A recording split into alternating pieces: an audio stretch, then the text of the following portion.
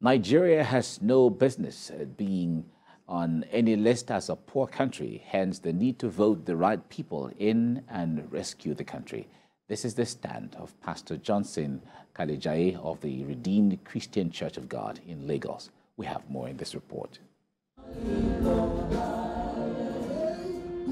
The program, organized by Faith Care Christian Ministry International, drew people from different denominations.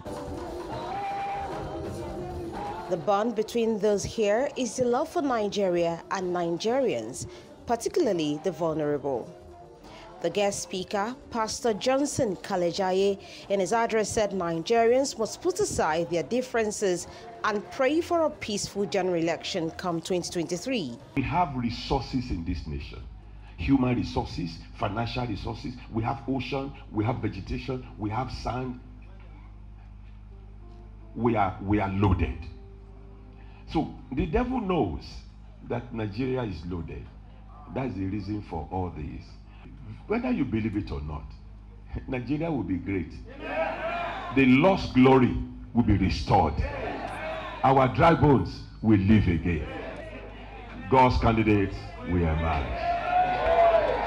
The convener, Pastor Felix Akintola, is worried about Nigerian youth and the role they would play during the election. My message is that let us return to God, who can hear our prayer and will heal our land and will look upon us with favor and Nigeria will turn on again.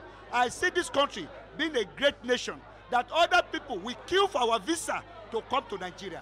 That is the vision and God will bring it to pass very, very soon. Brethren, begin to pray. Nothing. The event ended with raising a prayer altar for Nigeria for a turnaround and peaceful election.